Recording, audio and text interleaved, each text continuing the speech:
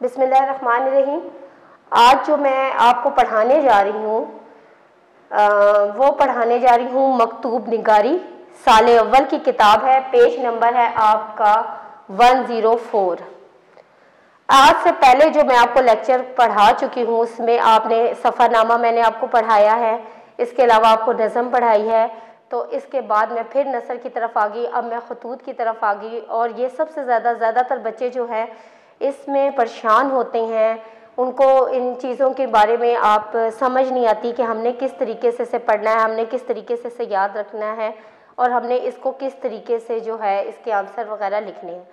आज जो मैं आपको ये पढ़ाने जा रही हूँ, ये साल अव्वल की आपकी किताब है, मकतूब निगारी। ठीक है? उसमें सबसे पहले आपको खतूत पढ़ाने से पहले मैं आपको जो चीज़ पढ़ाने जा रही हूँ, वो मकतूब निगारी कहते किसे हैं? आपकी बुक का पेज है 104 उस पर है। सबसे पहले देखें, मैंने आपको, मैं हमेशा जो भी पढ़ाती हूँ, उसके पॉइंट बना देती हूँ, ताकि आप लोगों को उसको एक तरह से खुलासा करने में या उस चीज़ को समझने में आसानी हो। पेज मैंने आपको इसलिए मेंशन किया है, ताकि आप बुक अपनी ओपन कर लें और जो जो साथ साथ मैं आपको जो रीडिंग करके बताती जा रही हूँ, या जो जो चीज़ें, या दो दो तारीफ़, या जो जो पॉइंट मैं अंडरलाइन करती जा रही हूँ वो चीज़ आपको समझ आए और आप उसको याद रखें। ये ऐसी चीज़ है, अगर आप इसको समझ जाएँगे तो आपको जो है इसको समझने में भी और इसको पढ़ने में भी आपके लिए आसानी होगी। पहली चीज़ है आपकी मकतूब निगारी। आप जो है मकतूब निगारी किसे कहते हैं? ठीक है? मकतूब निगारी क्या कहलाता है? क्या कहा कैसे जाता है? देखिए जी, आप अपनी बुक ओपन कर चुके होंगे। पेज नंबर भी आप निकाल चुके होंगे 104 दोबारा बता देती हूँ। हम रोज़ाना अपने दोस्त, अहबाब, रिश्तेदार, सरकारी, गैर सरकारी अफसरों से जो बात करते होते हैं, ज़रूरी बातचीत कहते हैं, अगर यही लोग हमसे दूर हो, अगर ये लोग हमसे दूर हो तो हम इन्हें रिटर्न फॉर्म में, यानी लिख कर जो है वो कागज़ पर लिख कर भेजते हैं, इस गुफ्तगु को, या इस बातचीत को खतूत निगारी या मकतूब निगारी कहते हैं। आपकी सहूलत के लिए मैंने बुक ओपन आपको करवाई है, ठीक है? और आपको बताने के लिए भी मैंने आपको ये रीडिंग कर दी है, समझा भी दी है पॉइंट दोबारा बोल देती हूँ। हम अपने दोस्त, पहला पॉइंट समझा रही हूँ तो पहले पॉइंट का जो तारीफ़ है, यानी इसको कहते क्या है, वो आपको बताने लगी हूँ। खतूत नवीसी या मकतूब निगारी। हम अपने दोस्तों से, रिश्तेदारों से या सरकारी, नीम सरकारी ऑफिसर से बातचीत जो करते होते हैं, ज़रूरी बातचीत जो होती है, उसको हम, अगर वो हमसे दूर होते हैं, अगर करीब हो तो हम आमने सामने बैठ के बात कर लेते हैं। अगर आमने सामने जब जो चीज़ बैठ के बात की जाती है, वो मुकालमा कहलाता है, बातचीत हमारी कहलाती है, मुकालमे की सूरत में हम बात करते हैं। मुकालमे पे भी मैं आपको एक लेक्चर दूँगी, उसके भी बुनियादी पॉइंट आपको समझाऊँगी, लेकिन इस वक्त मैं जो पढ़ा रही हूँ, वो मकतूब निगारी है। अब हमने उसमें, इसमें मैंने आपको बताया कि हम जो बात उन तक पहुँचाते हैं, अगर वो दूर होते हैं तो हम उनको लिख कर जो है वो भेजते हैं। इसको ख़त नवीसी यानी, और मकतूब निगारी कहते हैं। मैंने दोबारा दोहरा दिया आपकी सहूलत के लिए। अब ख़त को निफ्स मुलाकात कहते हैं। क्यों कहा जाता है? जी, दूसरा पॉइंट है आपको। खत को निफ मुलाकात क्यों कहा जाता है? क्योंकि ये मुलाकात हमारी अधूरी होती है। अधूरी का मतलब ये होता है कि हम आमने सामने नहीं होते। हम आमने सामने बैठ के बात नहीं कर रहे होते, बल्कि हमने अपनी बात या अपना पैगाम या अपना मैसेज जो होता है वो लिख कर ख़त के ज़रिए जो है वो किसी दूसरे तक पहुँचाया जाता है। आज तो अब तो जदीद टेक्नोलॉजी आ गई है। लोग मोबाइल्स यूज़ करते हैं। और इंटरनेट यूज़ करते हैं तो मेल की सूरत में मैसेज की सूरत में अपना पैगाम दूसरे तक पहुँचाते थे। लेकिन लेकिन पहले दौर में ये होता था कि ख़त लिखे जाते थे और ख़त लिख के अपनी बात जो है वो दूसरे तक पहुँचाई जाती है। तो दूसरा पॉइंट है ख़त को निस मुलाकात। मैं आपको बता चुकी हूँ, जो बात हम आमने सामने बैठ कर ना कर सकें, वो हमने रिटर्न फॉर्म में यानी ख़त के तौर पे लिख कर हम जो है, ख़त के ज़रिए दूसरे से तक पहुँचाते हैं। और उसको कहते हैं निस मुलाकात। अब है जी खतूत नवीसी की किस्में। तीन किस्में हैं खतूत नवीसी की, याद रखिएगा। अब है हमारा पॉइंट नंबर तीसरा है और इसमें जो अकसाम है, वो तीन इकसाम है खतूत नवीसी की। अब खतूत नवीसी की तीन अकसाम में पहली है निजी, जिसके अंदर आता है रस्मी या दावती खतूत। दूसरा पॉइंट है आपका पहला, दूसरा और तीसरा। ये किस्में हैं? याद रखिएगा खतूत नवीसी की। निजी निजी क्या होता है? निजी ये होता है कि आप रस्मी और दावती। जो ये जो खतूत की जो पहली किस्म है, ये आपके दोस्तों को होता है, रिश्तेदारों को होता है, इनको आप भेजते हैं। ठीक है जी?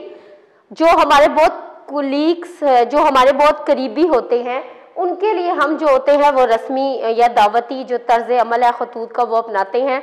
और उनके साथ हम बड़े आराम से और बड़ी फ्री माहौल में बात करते हैं। दावती ख़त देखें, जैसे फ़र्ज़ करें, शादी की दावत आपने दी है। अक्सर लोग जो हैं, बाकायदा सालगिरह की दावत नामे भी देते हैं। और भी जो होते हैं, हमारे बहुत सारे फ़ंक्शंस होते हैं, उस तरह के दावत नामे जो होते हैं, वो लोग भेजते हैं रिटर्न फॉर्म में तो उसको दावती कहते हैं। दावती खतूत कहते हैं। तो ये रस्मी और दावती जो होते हैं ये हमारे रिश्तेदार और दो, दोस्तों के साथ जो हम खतूत भेजते हैं ये हैं। कारोबारी क्या होते हैं? कारोबारी खतूत वो होते हैं जो मुख्तलिफ़ कंपनियों को ठीक है? मुख्तलिफ़ फार्म्स कंपनियों को जो लिखे जाते हैं कारोबार के सिलसिले में उसको कारोबारी खतूत कहते हैं। सरकारी या दफ्तरी खतूत क्या होते हैं? सरकारी या दफ्तरी खतूत वो होते हैं जो अमला अमला कह लें आप या आप ये कह ले कि अफसर अपने मातहतों को लिखते हैं। अमला जो है वो कोई अपनी बात अपने अफसर तक पहुंचाना चाहता है या अपनी कोई शिकायत जो है वो अपने अफसर तक पहुंचाना चाहता है तो वो खतूत लिखते हैं। या अफसर अपनी बात जो है वो अमले तक नहीं पहुँचा पाते तो वो एक खतूत जो है वो इस चीज़ के लिए सारी सबके लिए एक नोटिस जो है वो शाया करते हैं या खतूत की सूरत में जो है वो बातचीत करते हैं। तो इसको सरकारी या दफ्तरी खतूत कहते हैं। सनफ अदब के अतबार से जो है सबसे ज़्यादा अहमियत जिन खतूत को हासिल है वो अदबी और इल्मी खतूत है। पॉइंट नंबर फाइव जो है आपका कि सनफ अदब के अतबार से जो आपको जिस चीज़ को, जिस खतूत को ज़्यादा पजीराई हासिल है, वो अदबी और इल्मी जो है वो खतूत है। अच्छा जी, अब अब ये जो है खतूत नवीसी की जो है, इब्तदा हुई और इसके अलावा खतूत नवीसी जो उर्दू और में मुंतकिल कैसे हुई मकतूब निगारी, फ़ारसी और अरबी से उर्दू में मुंतकिल हुई थी। अब इब्तदाई दौर के खतूत नवीसी के नकात। अब ये है कि मैं आपको ये बताने लगी हूँ कि पहले दौर में जो है, वो इब्तदाई दौर के जो नकात हैं, वो क्या क्या थे? नंबर एक, पुरतकल्लुफ इबारत। इबारतें जो मौजूद थी वो पुरतकल्लुफ यानी बनावटी थी।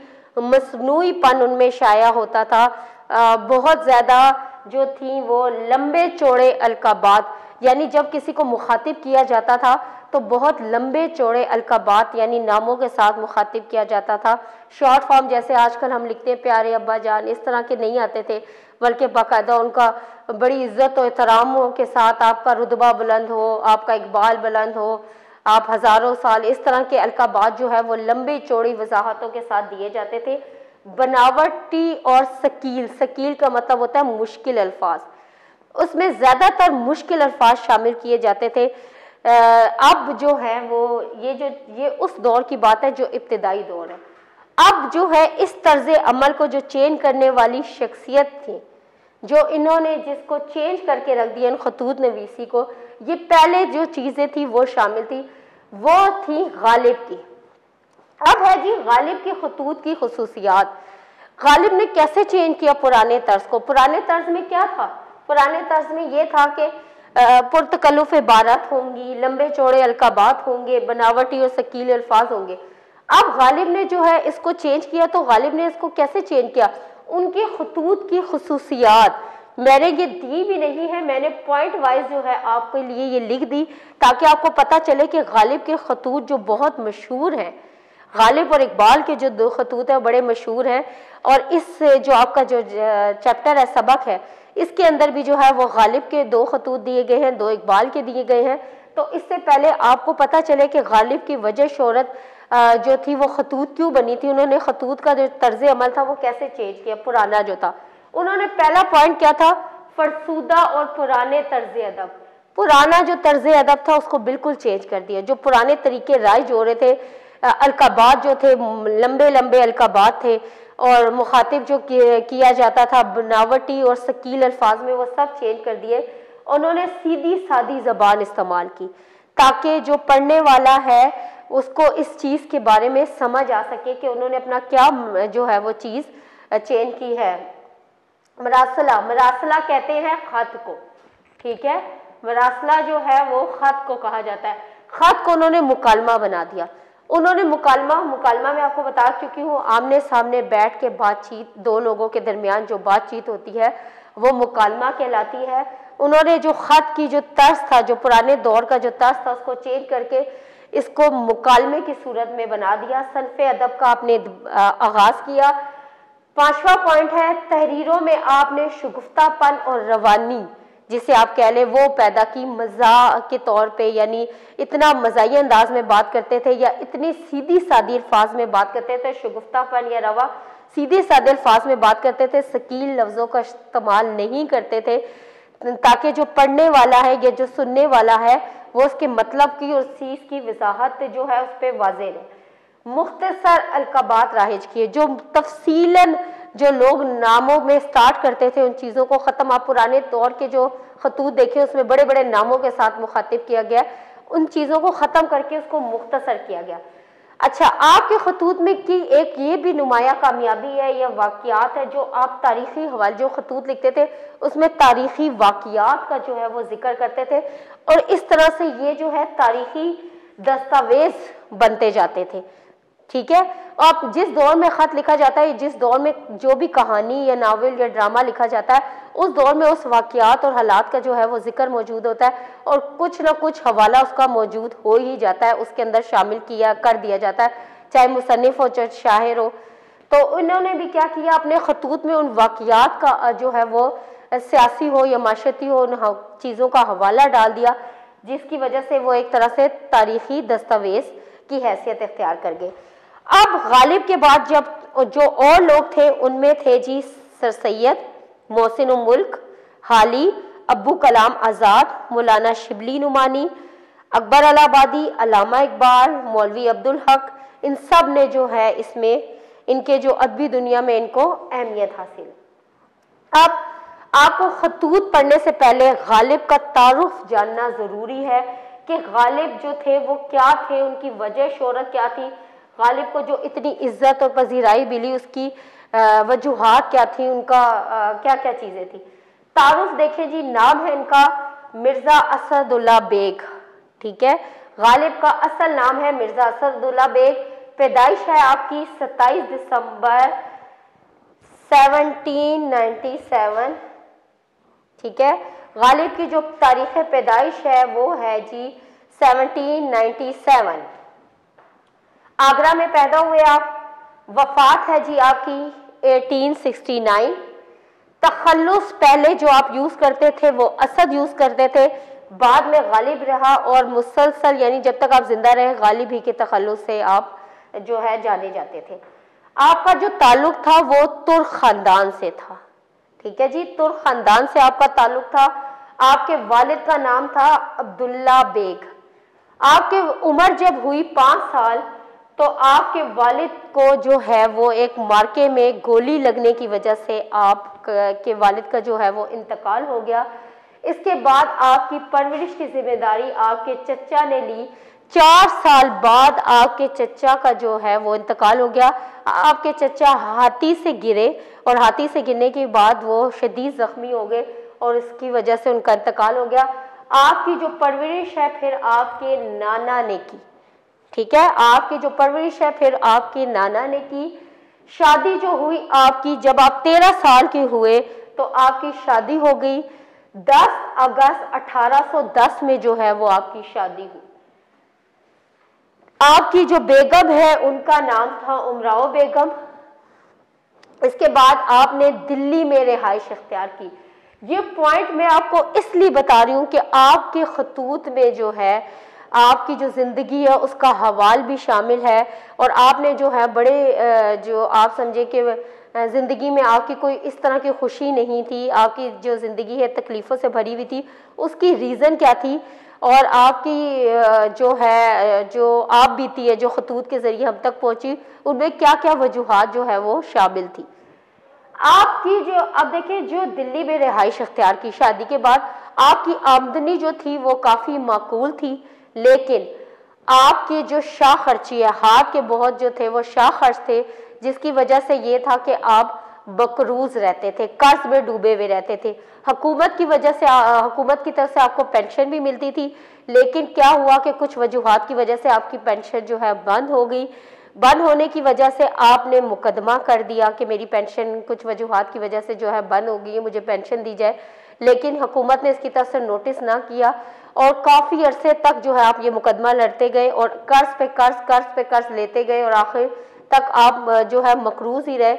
आखिरकार जब इस पर कोई फैसला ना हुआ तो आपने इस पर खामोशी इख्तियार की। ठीक है जी? अब है जी उनके बच्चों की तादाद। सात बच्चे जो थे वो गालिब के हुए, उसमें से कोई भी ज़िंदा नहीं बचा। इस चीज़ का असर उनकी ज़िंदगी में बहुत नुमाया था। एक छोटी उम्र की शादी और एक इनके बच्चों की जो है इंतकाल। एक बच्चा जैनुल आबदीन आरिफ नाम का जो है वो उन्होंने लेके पाला, लेकिन एन जवानी में जो है उस बच्चे का भी इंतकाल हो गया, जिसका असर उनकी ज़िंदगी में इतना पड़ा कि हर चीज़ से वो दिल बर्दाश्त हो चुके थे। इस, इन दोनों चीज़ों का हवाला मैंने आपको इसलिए दिया है कि ये दोनों चीज़ें उनकी ज़िंदगी में बहुत काउंट करती हैं। मैंने आपको बताया था, बहुत छोटे से थे तो वालिद का इंतकाल हो गया, फिर चचा का इंतकाल हो गया, ना, मुख्तलिफ़ उनकी ज़िंदगी के अगर हम पहलू पे बात करें तो उनकी ज़िंदगी एक तरह से तकलीफ़ दर तकलीफ़ ही चली है। बच्चों में से भी कोई ज़िंदा ना रहा, जिस बच्चे को पाला उसका भी इंतकाल हो गया जवानी में। उसकी, इसके इंतकाल के बाद आप बिल्कुल ही दिल बर्दाश्ता हो गए, हर चीज़ से आपका दिल उठ गया।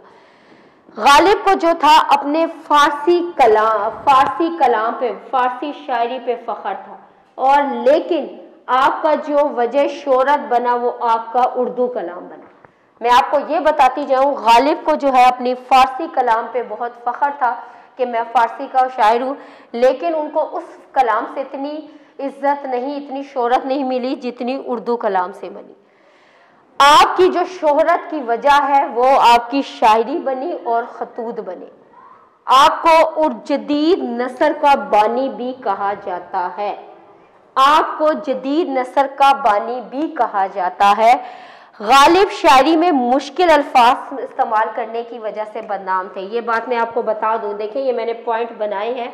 ये क्यों बनाए हैं? ताकि आपको समझ आ सके। गालिब जो थे, वो शायरी में मुश्किल अल्फाज की वजह से बदनाम थे, लेकिन नसल में सादा नवीसी के हवाले से आपने शोहरत पाई। अब है जी, खतूत की तरफ़ आए। तो खतूत की तरफ़ ये है कि आप जो थे, वो खतूत को लिखना अपनी शान के जो है, वो खिलाफ समझते थे। लेकिन हालात ने मजबूर किया और आपने जो है, वो अपना खतूत नवीसी का आगाज़ किया। इसके अलावा हालात के हाथों भी मजबूर थे। कुछ लोगों ने इसरार किया और आप खतूत की तरफ़ आए। आपके जो खतूत है, वो आप बीती है। याद रखिएगा, आपके जो खतूत है, वो आप बीती की सूरत में है, अपनी ज़िंदगी उसमें शामिल है। उस वक्त के सियासी माशरती हालात जो है, वो इसके अंदर, इनके खतूत में जो है, वो शामिल है। अच्छा जी, अब है जी इनका मजमू कलाम ठीक है मजमू खतूत खतूत सॉरी कलाम नहीं मजमू पहला है उर्दू हिंदी, दूसरा नाम है उर्दू मोल्ला और तीसरा है मकातीप गालिब। ये तीन जो है इस, ये नादिर खतूत गालिब, यानी ये इनके जो है कलाम मजमू खतूत के जो हैं वो बहुत ज़्यादा मशहूर हैं। ओवरऑल मैं आपको ये टोटल एक दफ़ा थोड़ा सा इसको दोबारा से समझा देती हूँ ताकि आपको समझने में आसानी रहे।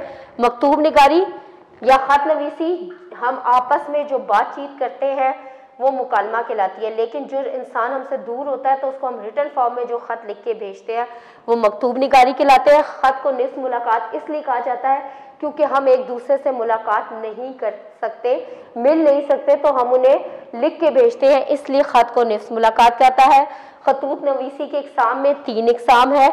आपने ये बनाने हैं सारे पॉइंट और इसको पॉइंट को बना के जो है वो आपने इसको इसी तरीके से जैसे मैंने ये बनाए हैं पॉइंट टू पॉइंट अहम नकात ये आपने बना के लिखने हैं ताकि आपको समझ आए। तीन अकसाम कौन सी है? निजी, जिसमें रस्मी और दावती, जो हम अपने रिश्तेदारों को लिखते हैं। कारोबारी कारोबारी मैंने आपको बताया, मुख्तलिफ़ कंपनियों वगैरह को फर्म फर्म्स वगैरह को लिखा जाता है। सरकारी अमला अपने ऑफिसरों को लिखता है। इसके बाद हमने जो सबसे ज़्यादा जिसने शोहरत हासिल की थी, वो इल्मी और अदबी खतूत ने हासिल की थी। अब जो पहले खतूत थे, उसमें क्या थे? पुरतकल्लुफ इबारत, मुख्तल, मुख्तसर इबारत नहीं थी, बनावटी मसनू मसनूपन ज़्यादा था शकील अल्फाज थे, लंबे चौड़े अलकाबात थे। अब गालिब के खतूत की क्या थी? फरसूदा और पुराने तर्ज को दूर किया, सीधी सादी जबान इस्तेमाल की मरासले को मुकालमा बना दिया। ऐसी बात करते थे कि जैसे अपने खतूत में ऐसे ज़ाहिर करते थे जैसे बंदा आमने सामने बैठा उनसे बात कर रहा है। तहरीर में शगुफ्तापन और रवानी जो थी वो मौजूद थी। मुख्तसर अलकाबात राइज किया आपने, जो लंबे चौड़े थे उनको ख़त्म करके शॉर्ट फॉर्म में मुखातिब किया। तारीखी वाक़ात का ज़िक्र है। तो इनके खतूत में इस तरह से ये एक तारीखी दस्तावेज़ की हैसियत भी रखते हैं। तारुफ में आपको बता चुकी हूँ, गालिब मिर्ज़ा सदुल्ला खबेग पैदाइश 27 दिसंबर 1797 आगरा में वफात 1897 तखलुस पहले असद था, फिर गालिब। गालिब ही की वजह से आपकी शोहरत रही। ताल्लुक आपका तुर खानदान, वालिद अब्दुल्ला बेग, पाँच साल में वालिद का इंतकाल हो गया, फिर चचा ने फिर, और इसके बाद आपके नाना ने जो है वो आपकी ज़िम्मेदारी ली। तेरह साल की उम्र में शादी हुई, उमराव बेगम आपकी थी, दिल्ली में रिहाइश इख्तियार की सात बच्चों में से कोई बच्चा आपका ज़िंदा नहीं रहा। जिस बच्चे को आपने पाला था लेके जैनुल आबदीन आरिफ नाम का, उसका भी जो है वह जवानी में इंतकाल हो गया। इन, इसकी वजह से आप बिल्कुल हर चीज़ से दिल बर्दाश्ता हो गए। और आखिरकार आपने जो है, आपके कलाम में तकलीफ़ दे वाक़ात का ज़िक्र मौजूद है। फ़ख्र आपको फ़ारसी कलाम पे था, लेकिन वजह शहरत उर्दू कलाम बने। शायरी और खतूत आपकी वजह शहरत है, मकबूलियत की वजह। इन दोनों चीज़ों से आप जाने जाते हैं। जदीद नस्ल के बानी आप कहलाते हैं। गालिब अपनी शायरी में मुश्किल अल्फाज इस्तेमाल करने की वजह से बदनाम थे, लेकिन नसर में सादा नवीसी के हवाले से आपने शोहरत पाई। आपके खतूत आपकी आप बीती हैं आपकी ज़िंदगी के और उस वक्त के दौर के।